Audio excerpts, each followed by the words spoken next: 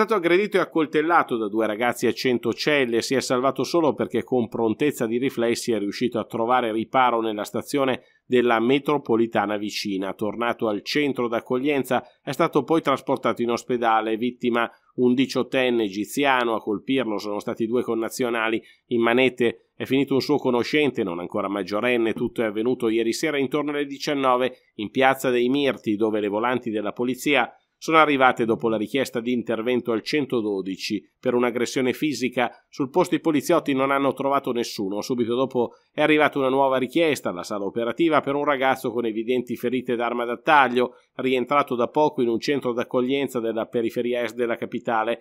Il ragazzo ha raccontato ai suoi educatori di essere stato aggredito da due connazionali, fra i quali un ragazzo ospite della sua stessa struttura. Ai poliziotti ha fornito le immagini del profilo social dell'altro in fuga. Sono partite le ricerche, in breve è stato individuato e bloccato con gli abiti ancora sporchi di sangue.